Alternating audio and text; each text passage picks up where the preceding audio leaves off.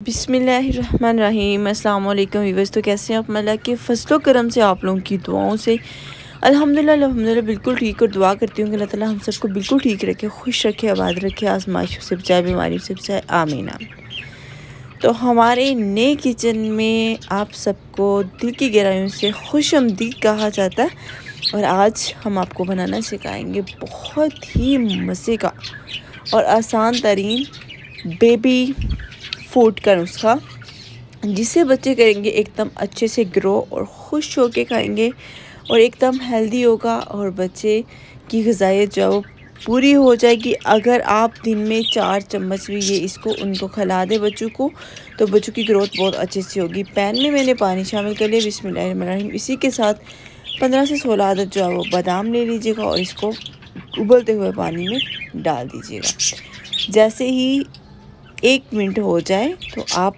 Pan को चूल्हे से उतार लीजिएगा। बसमीम तो इसको मैं किसी भी बर्तन में आप चाहो शामिल कर दें। जिसके बाद आपको थोड़ा इंतज़ार करना होगा, बस तो हल्का सा इसको ठंडा होने तक। तब तक मैं जल्दी से खजूर कट कर लूँगी। यहाँ खजूर मुझे चाहिए छः अदद। और इसको आपने कुछ यूँ करके कट लगाना है और पीस को अंदर से निकाल लेना है। और उसके बाद मज़ीद इसकी कटिंग यूँ करके कर लीजिएगा। तो सभी खजूर को कुछ हम इसी तरह से काट लेंगे और उम्मीद करती हूँ कि आपको हमारा नया किचन बहुत पसंद आया होगा और अभी ये बस थोड़े दिन में बहुत ही ज़्यादा खूबसूरत हो जाएगा, जैसा कि आप लोग जानते हैं कि मौसम बहार स्टार्ट हो रहा है। अभी हम जल्दी से बादाम का छिलका उतार लेंगे। बादाम को आपने ओवरनाइट या इस तरह से भिगो के बिल्कुल नहीं रखना, क्योंकि उससे होता कुछ यूँ है कि बादाम की तासीर ठंडी हो जाती है और फिर बच्चे के लिए ऐसा वो गजाइत बादाम में नहीं रहती जो कि आम होती है। तो यहाँ मैंने इसमें शामिल कर दिया बादाम। बादाम जो है वो प्रोटीन से फुल हो, फुल होता है और इसी के साथ हम इसमें शामिल करेंगे बादाम और खजूर को किसी भी ग्राइंडर ब्लेंडर जार में। यहाँ मैंने जूसर मशीन ली, जग लिया, उसमें शामिल कर दिया इसी के साथ बिस्मिल्लाह मैंने इसमें शामिल कर दिया सफ़ेद दलिया, दो खाने के चम्मच और साथ ही साथ मैंने इसमें एक पाव, यानी दूध शामिल कर दिया और मैंने इसको अच्छे से मिक्स कर दिया। अभी हम एक पैन लेंगे और इसमें शामिल करेंगे बिसमीम देसी घी, आधा खाने का चम्मच और इसके मेल्ट होने तक हमें इंतज़ार करना होगा।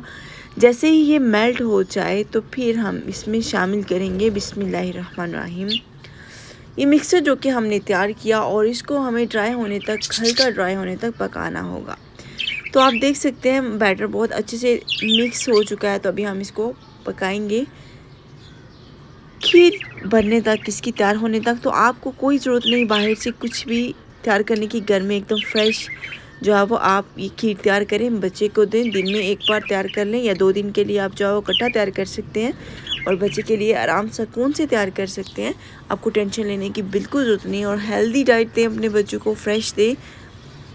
रोज़ बनाए तो ज़्यादा बेटर है। कुछ इस हद तक ड्राई होने तक आपने इसको पका लेना है। यहाँ टोटल जो है वो पाँच मिनट में आपके बेबी की फ़ूड जो है वो तैयार हो जाएगी। अभी मैं इसको साइड पे करूँगी और कुछ बच्चे मीठा खाना पसंद करते हैं। अगर आपके बच्चे मीठा खाना पसंद करते हैं तो आप इसमें ब्राउन शुगर यानी कि गुड़ वगैरह शामिल कर सकते हैं। मेरे बच्चे ऐसा जो है वो मीठा खाने में पसंद नहीं करते। सेपरेट से मीठा खा लें तो अलग से बात है, लेकिन फ़ूड में वो बिल्कुल भी नहीं पसंद करते। यहाँ मैंने शक्कर साथ रखी है, जो कि उनकी फेवरेट है और फ़ूड भी तैयार हो चुकी है। तो अभी ट्राई करते हैं। फ़ातिमा का दिल चारा जल्दी से मुझे खिला लिया जाए। तो आजकल फ़ातिमा की तबीयत ठीक नहीं है इसके लिए दुआ कीजिएगा कि अल्लाह ताला इसको जल्दी से सेहत तंदरुस्ती दे, जल्दी से ठीक कर दे।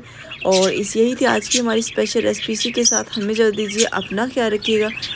अपने घर वालों का ख्याल रखिएगा। खुश रहें, आबाद रहें, हँसते रहें, मुस्कुराते रहें। ढेर सारी दुआओं के साथ।